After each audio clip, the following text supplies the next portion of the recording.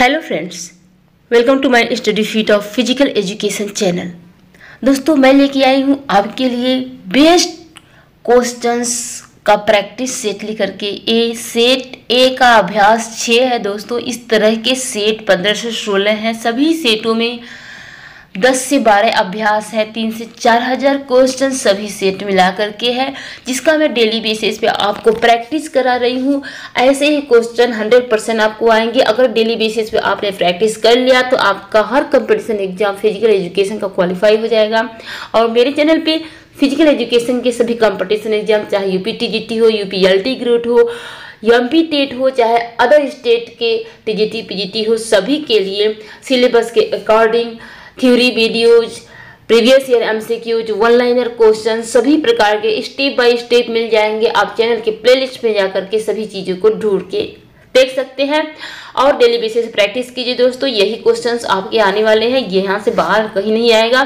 तो चलते हैं दोस्तों, सौ क्वेश्चंस है। आज की वीडियो में पूरा वीडियो धैर्यपूर्वक देखिएगा, एक भी क्वेश्चन को स्किप मत कीजिएगा और अपना स्कोर चेक कीजिएगा कि आपने अभी तक में कितना पढ़ा है और क्या क्या कमियाँ हैं। तो चलिए चलते हैं क्वेश्चन के तरफ़। क्वेश्चन है दोस्तों, धमनिया यानी कि आर्टरीज रक्त ले जाती हैं। तो हृदय से ले जाती है कि हृदय में ले जाती हैं? तो जो धमनियाँ होती हैं, उसमें शुद्ध रक्त बहता है यह हृदय से ले जाती हैं, ठीक है? हृदय से रक्त को समस्त शरीर में ले जाती हैं। नेक्स्ट है दोस्तों, मोच होती है। यहाँ पे आपको ध्यान में रखना है, जो मोच स्प्रेन होता है, उसको मोच कहते हैं। एक होता है स्ट्रेन, जिसे खिंचाव कहते हैं।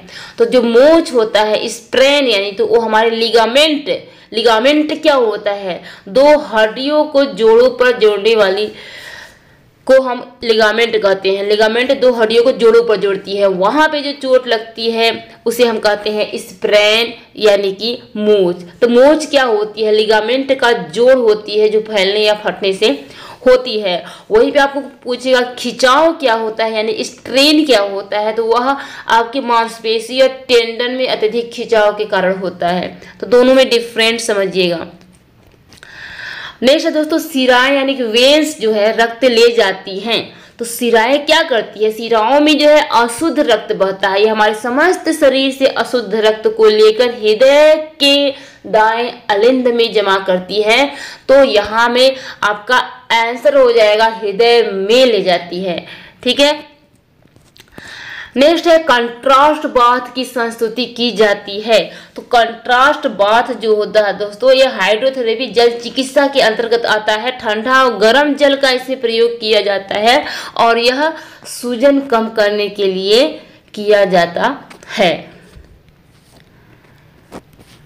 नेक्स्ट है, जब मांसपेशी में खिंचाव हो तो क्या प्रयोग करना चाहिए? तो दोस्तों, प्रथम प्राथमिक चिकित्सा के अंतर्गत इसको बर्फ़ का प्रयोग सबसे पहले करना चाहिए। नेक्स्ट है दोस्तों, क्रायोथेरेपी को ये भी कहते हैं। क्या कहते हैं दोस्तों? क्रायोथेरेपी को बर्फ़ चिकित्सा कहते हैं। बर्फ़ द्वारा चिकित्सा पद्धति को हम क्रायोथेरेपी कहते हैं।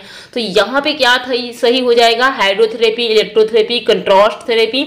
Isotherapy. तो यहाँ पे आपका आंसर हो जाएगा आइसोथेरेपी, यानी बर्फ़ चिकित्सा को हम कहते हैं क्रायोथेरेपी। नेक्स्ट दोस्तों क्षुद्रांत यानी कि स्मॉल इंटेस्टाइन यानी छोटी आंत की लंबाई लगभग दो दशमलव चार मीटर लंबी होती है। यह सत्य है कि असत्य है? जल्दी से टिक लगाइए। यह असत्य है दोस्तों, क्योंकि छोटी आंत की लंबाई स्मॉल इंटेस्टाइन की छः से साढ़े छः मीटर तक होती है। और इसके तीन भाग होते हैं, जेजुन, डोडिनम, जेजुनम, इलियम। नेक्स्ट दोस्तों, सूजन कम करता है तो सूजन दोस्तों कंट्रास्ट बाथ जो है, सूजन कम करता है और कंट्रास्ट बाद सूजन कम करता है। इसमें ठंडा गर्म पानी का प्रयोग किया जाता है बारी बारी से, पहले ठंडा पानी, फिर गर्म पानी, ठीक है? नेक्स्ट है मोच का लक्षण निम्न में से एक है। तो इसका सबसे बेस्ट लक्षण है आपका सूजन। नेक्स्ट क्वेश्चन है, पित्त यकृत में उत्पादित होता है। ये पित्त रस होता है यकृत यानी कि लीवर में उत्पादित होता है। सत्य है कि असत्य? तो यह दोस्तों सत्य है। जो हमारा पित्तरस होता है, उसका निर्माण जो है, लीवर में होता है और उसका स्टोर जो है, कहाँ पे होता है? गाल ब्लेडर यानी पित्ताशय में होता है। और यह पित्तरस काम क्या करता है दोस्तों? यह वसा को यानी फैट को पचाता है और क्या करता है? वसा में घुलनशील विटामिन जो ए डी ई के होता है, वह उसको पचाता है। नेक्स्ट दोस्तों मानव शरीर में कुल कितनी अस्थियाँ होती हैं? जैसे कि आप सबको पता है, दो से छह अस्थियाँ होती हैं। एंड नेक्स्ट है, मानव शरीर का मुख्य उत्सर्जी अंग कौन है? तो मुख्य उत्सर्जी अंग यहाँ पे त्वचा और दोनों गुर्दे यानी कि किडनी, फेफड़े, ये तीनों हैं आपके उत्सर्जी अंग। लेकिन मुख्य उत्सर्जी अंग जब भी पूछेगा, आपका दोनों गुर्दे यानी किडनी होगा। नेक्स्ट दोस्तों, खेल में चोटें क्यों लगती हैं? तो यहाँ पे आपका खेल में चोटें लापरवाही के कारण, अपर्याप्त प्रशिक्षण यानी ट्रेनिंग की कमी के कारण, तकनीकी उपकरण की कमी के कारण, ज्ञान की कमी के कारण, यहाँ पे आपका उपरोक्त सभी ऑप्शन करेक्ट हो जाएँगे। नेक्स्ट है दोस्तों फुफ्फुस यानी कि जो लंग्स यानी फेफड़ा है, एक अंग है। किसका? श्वसन तंत्र का। ये तो आप सबको मालूम है इजी क्वेश्चन है। नेक्स्ट क्वेश्चन है कि एक सामान्य मानव शरीर में होते हैं। क्या एक वृक्क होता है कि दो वृक्क होता है? तो एक सामान्य मानव शरीर में दो वृक्क यानी दो किडनी होते हैं जो रक्त को फ़िल्टर करने का काम करता है, यूरिया का निर्माण करता है। नेक्स्ट दोस्तों जंघास्थी का नाम है। तो जो हमारे जांग की अस्थि का क्या नाम है? फीमर ये हमारे शरीर की सबसे लंबी अस्थि होती है। तो सबसे लंबी अस्थि तो उर्वास्थि यानी फीमर और सबसे मज़बूत अस्थि तो मैंडिबल यानी कि निचला जबड़ा। सबसे छोटी अस्थि तो कान का स्टेपीज। नेक्स्ट दोस्तों, शरीर संरचना का अध्ययन कहलाता है। शरीर संरचना, जहाँ स्ट्रक्चर की बात आ जाए, वहाँ पे आपका शरीर रचना विज्ञान यानी कि एनोटॉमी होता है। ठीक है? और ये संस्थाएँ सब क्रियाएँ कैसे करते हैं अंग में तो वो आपका क्रिया विज्ञान में आ जाएगा। नेक्स्ट है दोस्तों, कि अस्थि पंजर में अस्थियाँ होती हैं तो 206 होती हैं। नेक्स्ट है, किस अंग से पित्त उत्पन्न होता है? तो यकृत यानी लीवर में पित्त रस का निर्माण होता है।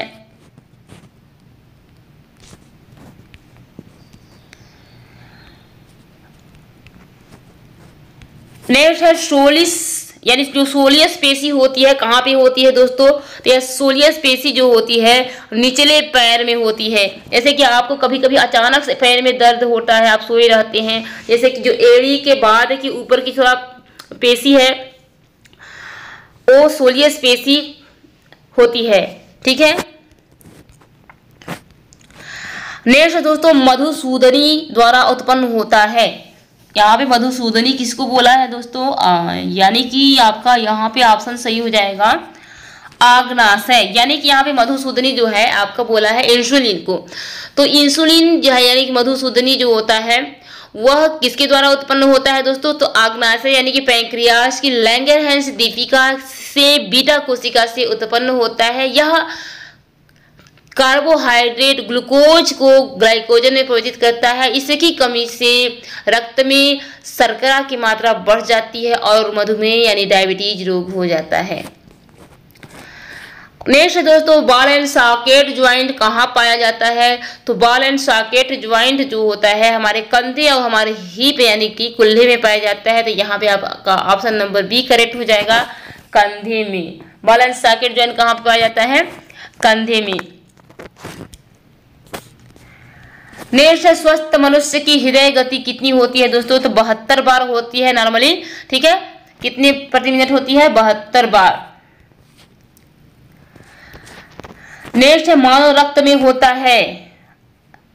तो रक्त में W B C R B C platelets plasma ये सभी होते हैं। तो यहाँ पे श्वेत रक्त कणिका यानी डब्ल्यू बी सी लाल रक्त कणिका यानी कि आर बी सी ये दोनों हो जाएगा।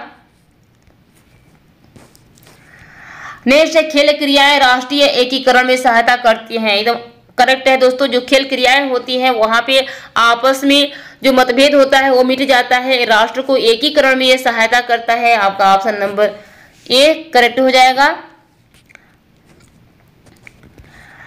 नेक्स्ट है, मानव शरीर की सबसे छोटी संरचना है। तो क्या है दोस्तों, मानव शरीर की सबसे छोटी संरचना है कोशिका यानी सेल। नेक्स्ट है, रक्त का कार्य है। दोस्तों, रक्त पोषक तत्वों को भी ले जाता है, ऑक्सीजन की पूर्ति करता है तो यहाँ पे दोनों हो जाएगा, ठीक है? नेक्स्ट है, यकृत का कार्य है। यकृत का क्या कार्य है दोस्तों? यकृत का कार्य आपका हो जाएगा यहाँ पे शरीर का तापमान का रख रखाव की, पित्त का स्त्राव की मूत्र का निर्माण। तो दोस्तों, यहाँ पे एक आपका निगेटिव पॉइंट आपको देखना है कि मूत्र का निर्माण तो किडनी करता है। ठीक है? मूत्र का निर्माण कौन करता है? किडनी करता है। तो यहाँ पे आपका हो जाएगा पित्त का स्त्राव ठीक है? पित्त का स्त्राव करता है कौन? यकृत। स्त्राव करके कहाँ पे स्टोर करता है? गाल ब्लेडर यानी कि पित्ताशय में।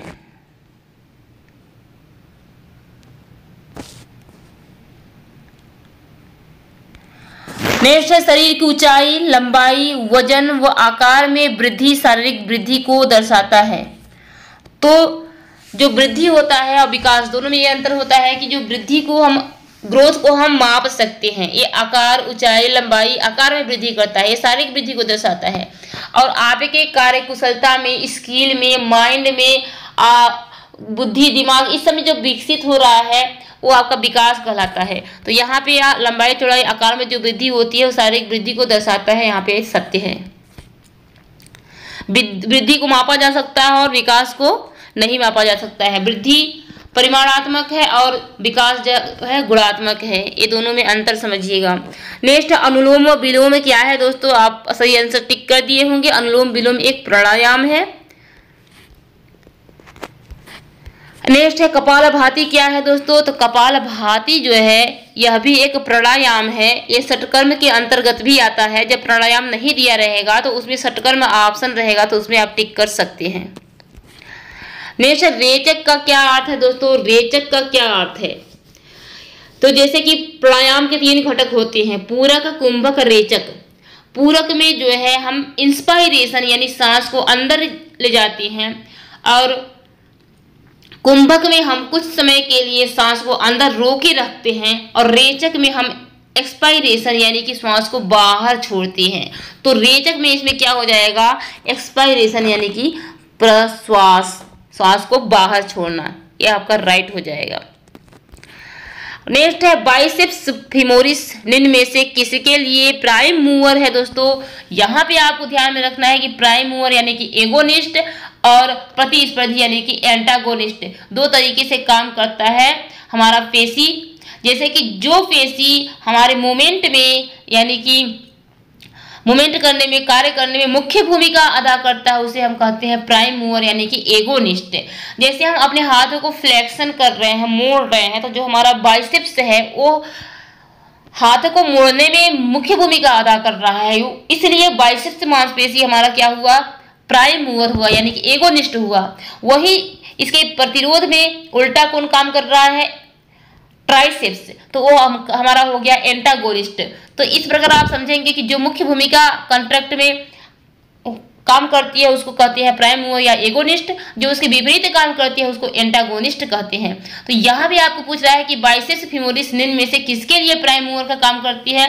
तो सबसे पहले जानिए बाइसेस फिमोरिस होता कहाँ पे है? तो हमारे जांग के पीछे जो हेमेस्ट्रिंग मसल्स होती है, तीन पेशियों से मिलकर बनती हो, बनी होती है biceps femoris semi membranosus semi tendinosus तीन पेशियों से, जिसमें से बाइसेस फेमोरिस करती क्या है, यह हमारे घुटने को मोड़ने के काम में आती है, यानी कि घुटने को मोड़ने में यह प्राइम मूवर का काम करती है।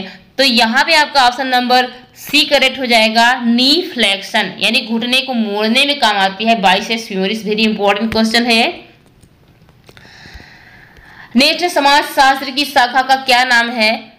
खेल के क्षेत्र में तो खेल समाज शास्त्र। क्या हो जाएगा? खेल समाज शास्त्र। नेक्स्ट है, मानव शरीर की सूक्ष्मतम इकाई क्या है दोस्तों? तो मानव शरीर की सूक्ष्मतम इकाई है कोशिका, सेल, और सेल से मिल, समान रचना, समान कार्य करने वाले कोशिकाओं से मिलकर बना होता है हमारा उत्तक यानी टीसू टीसुओं से मिलकर हमारा अंग बनता है, अंगों से मिलकर हमारा शरीर बनता है। नेक्स्ट दोस्तों, शारीरिक शिक्षा तथा खेल के कार्यक्रम मुख्यतः होते हैं तो सामूहिक होते हैं कि व्यक्तिगत होते हैं? तो सब लोग आप जानते हैं ये सामूहिक और व्यक्तिगत दोनों प्रकार के होते हैं तो ऑप्शन नंबर सी करेक्ट हो जाएगा। नेक्स्ट दोस्तों, कालर बोन का अन्य नाम है। दोस्तों, कालर बोन को हम, जो हमारे उरोस्थी, जो वक्ष पे पेशी होती है, उरोस्थी से दोनों तरफ़ पसलियाँ बारह बारह जुड़ी रहती हैं तो उस उरोस्थी के प्रथम भाग में जो ऊपर होता है वो हंसुली जिसे कहते हैं कालर बोन वह निकल करके वहाँ स्टर्नम तक चला जाता है, पतला सा गर्दन के पास आप दिखाई देगा। तो कालर बोन को हम क्लेविकल भी कहते हैं। क्या बोलते हैं? क्लेविकल भी बोलते हैं। नेक्स्ट है दोस्तों, कोशिका के अध्ययन को कहते हैं। तो कोशिका के अध्ययन को हम साइटोलॉजी बोलते हैं। क्या बोलते हैं? साइटोलॉजी बोलते हैं। अस्थियों के अध्ययन को ऑस्टियोलॉजी, जोड़ों के अंदर को आर्थोलॉजी मांसपेशियों के अध्ययन को मायोलॉजी। इस प्रकार आप सबके अध्ययन को एक क्वेश्चन इससे ज़रूर पूछता है। नेक्स्ट है, लार में स्त्रावित तो होता है। लार कहाँ पे स्त्रावित होता है? हमारे मुख में। हमारे मुख में जो है, वो लार स्त्रावित होता है। हमारे लार ग्रंथि से लार स्त्रावित होता है मुख में। तीन जोड़ी लार ग्रंथियाँ होती हैं। पैरोटिड ग्रंथि सबमेंडिबुलर सबलिंगुअल ये तीन जोड़ी होता है, तीन तीन तीन दोनों तरफ़ होता है आपका, जिससे लार स्त्रावित होता है। लार करता क्या है? लार से टैलिन नामक एंजाइम निकलता है, जो आगे भोजन को, कार्बोहाइड्रेट को पचाने का काम करता है। नेक्स्ट मेरुदंड किसका एक अंग है? तो मेरुदंड किसका एक अंग है दोस्तों? क्या परिसंचरण तंत्र का है? नो. पाचन तंत्र का है? नो. श्वसन तंत्र का है? नो. यह मेरुदंड में आपका स्पाइनल कार्ड जो मेरु रज्जु होता है, उसी के बीच में से जाता है। तो यह तंत्रिका तंत्र का एक अंग है। किसका अंग है? तंत्रिका, तंत्र का। नेक्स्ट शरीर में सबसे बड़ी ग्रंथि कौन सी है दोस्तों? तो सबसे बड़ी ग्रंथि यकृत है। तो ये आपका सत्य है। सबसे छोटी ग्रंथि का बात कहेगा तो आपका पिट्यूटरी ग्रंथि, मास्टर ग्रंथि का बात कहेगा, प्रमुख ग्रंथि का तो पिट्यूटरी यानी पीयूष ग्रंथि। तो सबसे बड़ी ग्रंथि और सबसे बड़ी अंत स्त्रावी ग्रंथि की बात करेगा तो आपका थायराइड हो जाएगा। ये भी ध्यान में रखिएगा। और मिक्स ग्लैंड यानी कि अंत स्त्रावी वाल स्त्रावी दोनों का कार्य कौन करता है? तो आग्नाशय यानी कि पैंक्रियाज। नेक्स्ट दोस्तों, पेशियों में पाया जाने वाला प्रोटीन है। तो पेशियों में एक्टिन और मायोसिन प्रोटीन पाया जाता है। तो यहाँ पे मायोसिन दिया हुआ है तो मायोसिन आपका करेक्ट हो जाएगा। नेक्स्ट दोस्तों ग्रसनी कंठ श्वास वाहिका श्वास नली व फेफड़ों के घटक होते हैं। तो ये सभी श्वसन तंत्र के घटक हैं, ठीक है? नेक्स्ट दोस्तों, यम कितने होते हैं? दोस्तों, पतंजलि ने अष्टांग योग में आठ शरीर, मन, आत्मा की शुद्धि के लिए अष्टांग योग को बताया है। यम, नियम, आसन, प्राणायाम, प्रत्याहार, धारणा, ध्यान, समाधि, जिसमें से यम जो होता है, वो आपका यम यम पाँच प्रकार का होता है। कौन कौन से? सत्य, अहिंसा, अस्तेय, ब्रह्मचर्य, अपरिग्रह, ये पाँच प्रकार के यम होते हैं। यहाँ आसन नंबर डी करेक्ट हो जाएगा पाँच। ठीक है? नेक्स्ट क्वेश्चन है कि योग के जनक हैं। तो दोस्तों, योग के जनक महर्षि पतंजलि हैं। नेक्स्ट दोस्तों, यम, नियम, आसन, प्राणायाम, प्रत्याहार हैं। तो दोस्तों, जो अष्टांग योग में आठ योग की बात कहा गया है, यम, नियम, आसन, प्राणायाम, प्रत्याहार, धारणा, ध्यान, समाधि, ये आठ हैं। तो शुरू के जो पाँच हैं, यम, नियम, आसन, प्राणायाम, प्रत्याहार, ये बहिरंग योग के अंतर्गत आते हैं। किसमें? बहिरंग योग के अंतर्गत। और लास्ट के जो तीन है, धारणा, ध्यान, समाधि, वो अंतरंग योग के अंतर्गत आते हैं। तो ये क्वेश्चन पूछा जाता है बार बार इसको आप ध्यान में रखिएगा।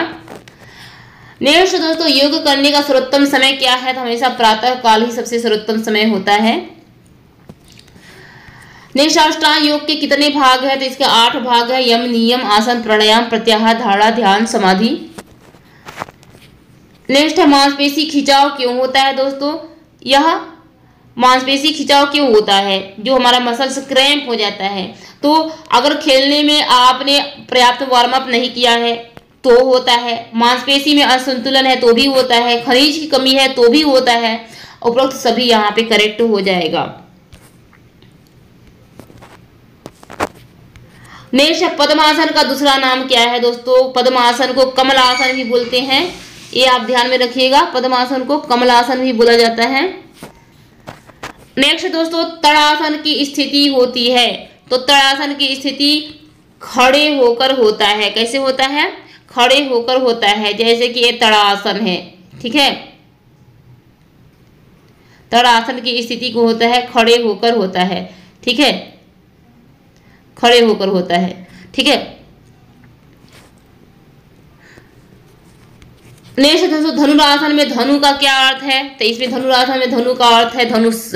इसको करते समय धनुष की तरह आकृति हो जाती है। नेक्स्ट योग सूत्र के लेखक कौन है, दोस्तों? योग सूत्र के लेखक हैं। योग सूत्र को किसने लिखा है? योग सूत्र को लिखा है महर्षि पतंजलि ने। किसने लिखा है योग सूत्र को? तो योग सूत्र को लिखा है महर्षि पतंजलि ने। नेक्स्ट क्वेश्चन है, योग के उद्देश्य क्या है दोस्तों? रोग से मुक्त शरीर की शुद्धिकरण एकाग्रता। ये सभी आपके योग के उद्देश्य हैं। योग से रोग की रोग की मुक्ति होती है, शरीर की शुद्धिकरण भी होती है, हमारा मन एकाग्र भी होता है, किसी कार्य को हम आसानी से बिना थकावट के करते हैं। तो यहाँ पे उपरोक्त सभी आपका करेक्ट हो जाएगा। नेक्स्ट दोस्तों, दर्शकों द्वारा प्रोत्साहन है। दर्शकों द्वारा प्रोत्साहन क्या कहलाएगा? सामाजिक प्रतिस्पर्धी प्रेरक की सामाजिक प्रेरक की आर्थिक प्रेरक। तो यह दर्शकों द्वारा जो है, वो आपका सभी प्रकार के सामाजिक प्रतिस्पर्धी प्रेरक भी कहलाएगा, सामाजिक प्रेरक भी, आर्थिक प्रेरक भी। उपरोक्त सभी यहाँ पे करेक्ट हो जाएगा। नेक्स्ट मयूरासन की स्थिति कैसी होती है दोस्तों? इसकी स्थिति मोर जैसी होती है। यह सौंदर्य को बढ़ाने के लिए योग होता है। सौंदर्य आसन भी इसको बोला जाता है। नेक्स्ट दोस्तों, प्राथमिक चिकित्सा का संबंध है। तो प्राथमिक चिकित्सा का संबंध जनसंख्या से है कि संगठन से है? तो प्राथमिक चिकित्सा में क्या होता है? उपचार होता है तो इसका संबंध उपचार से है। नेक्स्ट प्राथमिक चिकित्सा बॉक्स में होता है तो जितने भी प्राथमिक चिकित्सा में आपको उपयोग की गई वस्तुएँ होती हैं, सभी चीज़ें उसमें होना चाहिए, जैसे कि डेटॉल हो गया, रुई हो गया, पट्टी हो गया, यहाँ पे उपरोक्त सभी हो जाएगा। इसके अतिरिक्त और जो भी सामान आवश्यक है, वो सब भी होना चाहिए। नेक्स्ट दोस्तों योग क्या है? तो योग क्या है दोस्तों? योग एक साधना है। क्या है? योग एक साधना है। तो योग क्या है? योग एक साधना है। नेक्स्ट दोस्तों सर्वप्रथम फ़र्स्ट एड शब्द का प्रयोग कब हुआ था? तो अठारह में हुआ था। फ़र्स्ट एड मतलब प्राथमिक उपचार शब्द का। नेक्स्ट राष्ट्रीय स्वास्थ्य निकाय national efficiency national fitness score, यानी कि एनएफसी कार्यक्रम कब स्थापित किया गया? तो यह उन्नीस सौ पैंसठ में स्थापित किया गया। कब? उन्नीस वेरी इंपॉर्टेंट है ये बार बार पूछा जाता है। नेक्स्ट क्वेश्चन है, खेलों में पुनर्वास में उपयोग करते हैं। तो दोस्तों, ये क्वेश्चन बार बार पूछा जाता है, इसमें आप कंफ्यूज मत होइएगा। खेलों में पुनर्वास यानी कि रिहेबिलिटेशन प्रोसेस में क्या होता है? तीन चीज़ें होती है। एक करेक्टिव एक्सरसाइज यानी सुधारात्मक व्यायाम। एक होता है आपका मनोवैज्ञानिक प्रशिक्षण, यानी कि उसको देख हम उसको प्रोत्साहन देते हैं, उसकी हिम्मत को बढ़ाते हैं। और तीसरा होता है चिकित्सा विधि। तो यहाँ पे तीनों में से कोई एक ऑप्शन रहेगा तो आपका सही रहेगा या तीनों रहेगा, तब सही रहेगा, और तीनों में से कोई एक रहेगा तो सही रहेगा। यहाँ पे आपका क्या दिया है, खेलों में पुनर्वास में उपयोग करते हैं तो यहाँ पे आपका करेक्ट हो जाएगा, सुधारात्मक व्यायाम, यानी करेक्टिव एक्सरसाइज नेक्स्ट है, मोच एक चोट है। तो मोच यानी कि जो आपका स्प्रेन होता है, मोच होता है, यह अस्थि बंध यानी कि लिगामेंट की चोट है। किसकी चोट है? अस्थि बंध यानी लिगामेंट की चोट है। लिगामेंट क्या करता है? अस्थियों को जोड़ों पर, दो अस्थियों को जोड़ों पर जोड़ने का काम करता है और एक टेंडन होता है जो अस्थियों को हड्डियों से जोड़ता है। इन दोनों पॉइंट को आप ध्यान में रखिएगा। तो लिगामेंट की चोट को मोच यानी स्प्रेन बोलते हैं और टेंडन या मांसपेशी की चोट को स्ट्रेन यानी कि खिंचाव बोला जाता है। नेक्स्ट है स्वास्थ्य के बारे में विश्व स्वास्थ्य संगठन का विचार क्या है? तो विश्व स्वास्थ्य संगठन W H O world health organization का कहना है कि स्वास्थ्य केवल रोग से मुक्ति होने का नाम नहीं है, स्वास्थ्य तो शारीरिक मानसिक आध्यात्मिक रूप से पूर्ण रूप से स्वस्थ होने का नाम है। तो यहाँ पे आपका क्या हो जाएगा? यहाँ पे आपका संपूर्ण तंदुरुस्ती। स्वास्थ्य के बारे में विश्व स्वास्थ्य संगठन का विचार क्या है? संपूर्ण संतुष्टि। तंदुरुस्ती, ठीक है? संपूर्ण तंदुरुस्ती। नेक्स्ट दोस्तों प्राथमिक चिकित्सा बॉक्स में नहीं होता है। कैंची, तापमापी, सिक्का, पट्टी। तो यहाँ पे कैंची, तापमापी, पट्टी सब कुछ होगा, लेकिन सिक्का नहीं होगा आपका। नेक्स्ट दोस्तों, शरीर, मन, आत्मा की शुद्धि के लिए योग के कितने चरण हैं? तो शरीर, मन, आत्मा की शुद्धि के लिए योग के आठ चरण हैं। यम, नियम, आसन, प्राणायाम, प्रत्याहार, धारणा, ध्यान, समाधि। तो यहाँ पे उपयुक्त सभी हो जाएगा। ठीक है? नेक्स्ट है ग्लूटियस मैक्सिमस पेशी कहाँ पे स्थित होती है? दोस्तों ग्लूटियस मैक्सिमम पेशी जो होती है हमारे नितंब, यानी कि हिप में, कुल्हे में स्थित होती है। और ये हमारे शरीर की सबसे बड़ी मांसपेशी है। तो आप ध्यान में रखिएगा कि सबसे बड़ी मांसपेशी है आपके हमारे नितंब में ग्लूटियस मैक्सिमस सबसे लंबी मांसपेशी है हमारे सार्टोरियस और सबसे चौड़ी मांसपेशी होती है लैटिमस डोरसी जो हमारे कमर के ऊपर पीठ में स्थित होती है। नेक्स्ट युवा व्यक्ति में सामान्य पल्स रेट सीमा होती है। तो सामान्य पल्स रेट जो हमारा हृदय गति होता है, सामान्य, वो हमारा होता है बहत्तर बार प्रति मिनट लेकिन एवरेज में देखेंगे यहाँ पे तो बहत्तर बार नहीं दिया रहेगा तो साठ से हम शुरू करेंगे तो साठ से सौ बार आपका हो जाएगा। साठ से सौ बार करेक्ट हो जाएगा।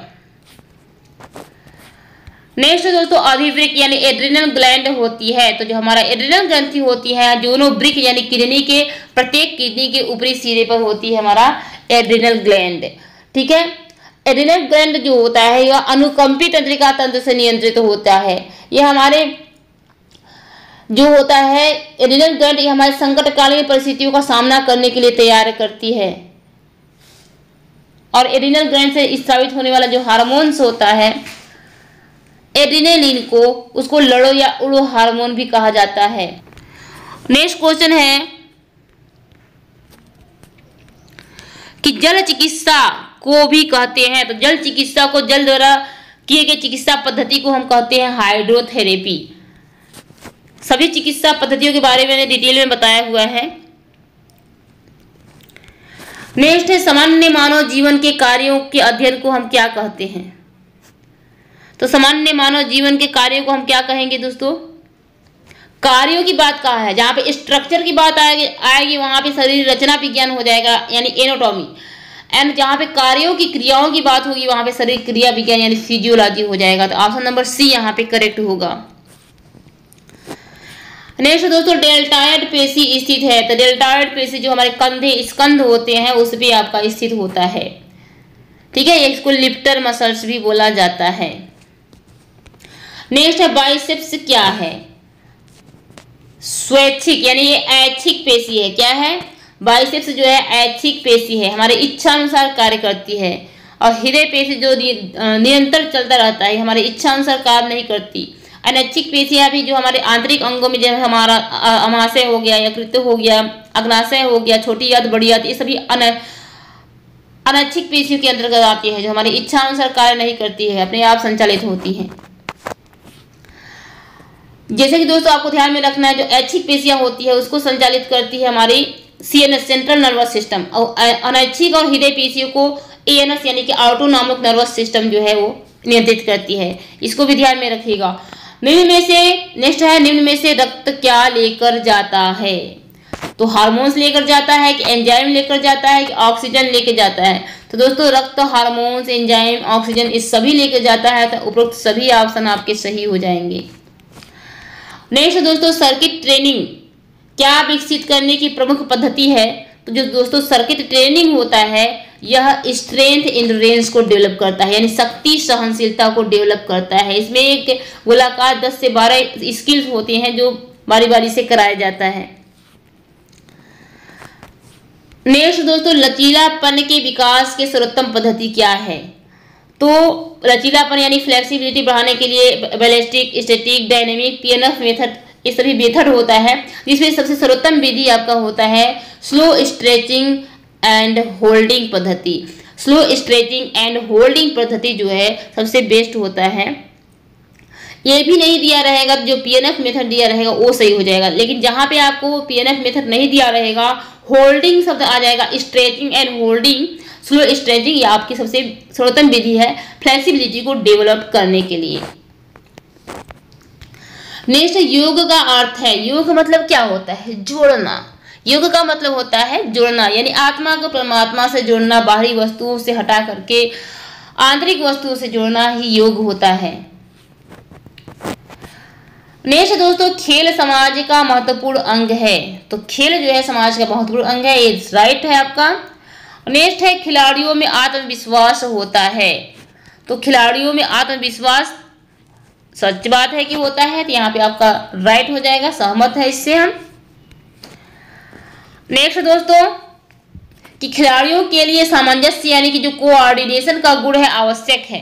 तो दोस्तों, खिला, एक खिलाड़ी में जब तक कोऑर्डिनेशन नहीं होगा, हमारा हाथ, पैर, आँख सब, ये पैर एक साथ कैसे काम करते हैं, कैसे हमको सामंजस्य यानी कि कोऑर्डिनेट करना है तो ये आपका सबसे आवश्यक गुण है तो यहाँ पे हम इससे सहमत हैं। नेक्स्ट है, एक स्वस्थ व्यक्ति की हृदय गति होती है। तो एक स्वस्थ व्यक्ति की हृदय गति कितना होता है? बहत्तर बार प्रति मिनट। कितना होता है?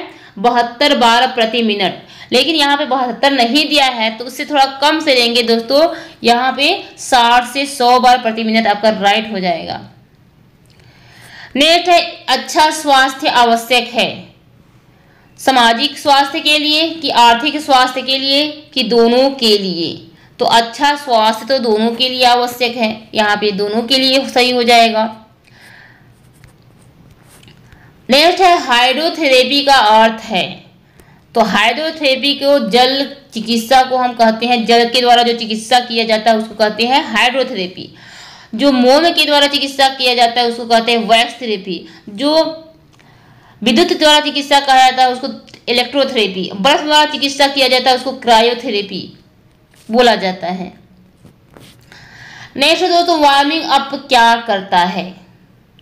तो वार्मिंग अप क्या करता है दोस्तों? तो वार्मिंग अप जो है, वह शरीर का, शरीर व मांसपेशी का तापमान बढ़ाता है। इस ऑप्शन में यही सही रहेगा। और आपको ये अलचीलापन यानी फ्लेक्सिबिलिटी को बढ़ाता है। तो ये जो ऑप्शन देखने को मिल जाएँगे तो वहाँ पे वो सही रहेगा। नेक्स्ट दोस्तों टेनिस एल्बो हो सकती है। तो टेनिस एल्बो जो होता है, वो सिर्फ़ टेनिस खिलाड़ियों में होगी कि बैडमिंटन खिलाड़ियों में होगी, कि हॉकी खिलाड़ियों में होगी, कि सभी में होगी? तो यहाँ पे ज़्यादातर बैडमिंटन और टेनिस खिलाड़ियों में आपका टेनिस एल्बो होता है बट यहाँ पे सभी ऑप्शन आपके सही हो जाएँगे।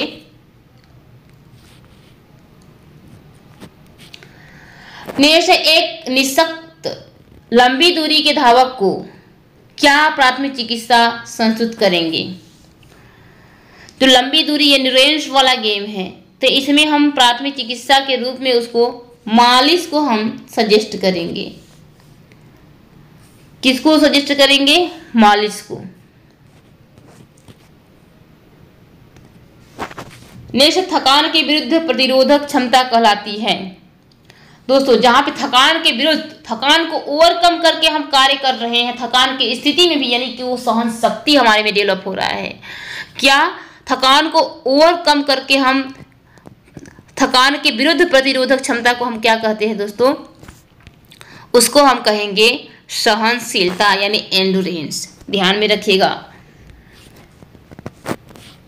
नेक्स्ट है, मांसपेशी ऐठन का क्या कारण है? यानी कि मांसपेशी ऐठन यानी मसल्स क्रैम का क्या कारण है? तो अत्यधिक कार्य आप कर दिया, आवश्यकता से अधिक तो भी होगा। नमक की कमी हो गया, पेशी में कोई चोट हो गया, इन सभी कारणों से मसल्स क्रैम्प यानी मांसपेशी ऐठन होता है। नेक्स्ट दोस्तों, तीव्र अंतराल प्रशिक्षण विकसित करता है, यानी कि जो इंटरवल ट्रेनिंग मेथड होता है, तीव्र अंतराल प्रशिक्षण ये क्या विकसित करेगा? तो ये आपका गति सहनशीलता यानी स्पीड एंडोरेंस को डेवलप करेगा। अंतराल प्रशिक्षण में होता क्या है दोस्तों कि जैसे कि हम कोई ट्रेनिंग कर रहे हैं, कोई अभ्यास कर रहे हैं तो जो ही हम अभ्यास करते करते हमारा हार्ट रेट जो है 180 तक पहुँच जाएगा। 180 तक पहुँचते ही हम उस कार्य को, उस प्रशिक्षण को रोक देंगे। और जो ही हमारा 120 से 140 के बीच आपका हार्ट रेट आ जाएगा, यानी पूर्ण रिकवरी नहीं दिया जाता है, अधूरा इनकम्प्लीट रिकवरी दिया जाता है अंतराल प्रशिक्षण में। जो ही हमारा हार्ट रेट जो है 120 से 140 के बीच आएगा, हम पुनः उस कार्य को प्रारंभ कर देते हैं। यानी कि थोड़ा सा अंतराल देते हैं बीच में, पूर्ण हम रिकवरी नहीं देते हैं, थोड़ा 180 हमारा हार्ट रेट पहुँच जाए तो हम कार्य को रोक देते हैं। जो ही हमारा हार्ट रेट 120 से 140 पर आता है, तुरंत फिर से शुरुआत कर देते हैं। यानी कि पूरा थकावट को दूर नहीं करते हैं। पूरा रिकवरी नहीं देते हैं। इसमें हमारा गति सहनशीलता यानी कि स्पीड इंड्योरेंस डेवलप होता है। नेक्स्ट है क्रायोथेरेपी का अर्थ है। तो क्रायोथेरेपी में बर्फ़ द्वारा चिकित्सा किया जाता है तो यहाँ पे सिद्ध चिकित्सा आपका करेक्ट हो जाएगा। नेक्स्ट, अष्टांग योग का चौथा भाग कौन है दोस्तों? तो अष्टांग योग में आठ योग आते हैं। यम, नियम, आसन, प्राणायाम प्रत्याहार धारणा ध्यान, समाधि। तो आप ऐसे गिन सकते हैं सीरियल वाइज याद किए हैं। तो यम, नियम, आसन, प्राणायाम। चौथा पे क्या आया आपका? प्राणायाम। ठीक है? चौथा भाग क्या है? प्राणायाम। नेक्स्ट है, पूरक का अर्थ है। तो दोस्तों, प्राणायाम के तीन घटक होते हैं, पूरक, कुंभक और रेचक। पूरक का मतलब होता है इंस्पायरेशन यानी श्वास को अंदर लेना। कुंभक का मतलब होता है श्वास को अंदर लेकर थोड़ा सा कुछ समय के लिए अंदर रोकी रखना। और रेचक का मतलब होता है एक्सपायरेशन यानी कि श्वास को बाहर निकालना। तो यहाँ पे पूरक का अर्थ होगा इंस्पायरेशन यानी कि अंत श्वसन नेक्स्ट है पद्मासन और सिद्धासन क्या है? विश्राम आसन है, कि सुधारात्मक आसन है, कि ध्यानात्मक आसन है। तो दोस्तों, पद्मासन और सिद्धासन दोनों क्या है? ध्यानात्मक आसन है। आपका विश्राम आसन में सवासन आ जाएगा अबलासन आ जाएगा, ठीक है? नेक्स्ट आपका अष्टांग योग के अंतिम तीन भाग कौन से हैं? तो दोस्तों, जो अष्टांग योग के आठ भाग है, यम, नियम, आसन, प्राणायाम, प्रत्याहार धारणा ध्यान, समाधि। तो जो प्रथम पाँच भाग हैं, यम, नियम, आसन, प्राणायाम, प्रत्याहार, इसको हम बहिरंग योग कहते हैं। उसके बाद जो अंतिम तीन है धारणा ध्यान, समाधि, इसको हम क्या कहते हैं? अंतरंग योग कहते हैं। तो अष्टांग योग के अंतिम तीन भाग को हम क्या कहेंगे? अंतरंग योग योग कहेंगे। ऑप्शन नंबर ए करेक्ट हो जाएगा। नेक्स्ट है रेपिटेशन पद्धति। क्या बढ़ाने में सहायक होती है दोस्तों? तो रिपीटेशन पद्धति जो है, आपको इसमें क्या बढ़ाएगा? तो इसमें गति क्षमता बढ़ाएगा, विस्फोटक शक्ति बढ़ाएगा, अधिकतम शक्ति बढ़ाएगा, उपरोक्त सभी हो जाएगा। ठीक है? तो रिपीटेशन मेथड अक्सर हमारा इस स्पीड इंडोरेंस को डेवलप करता है। ठीक है? स्पीड इंडोरेंस को डेवलप करता है। तो इतनी सारे ऑप्शन नहीं होंगे तो स्पीड इंडोरेंस आपका सही हो जाएगा।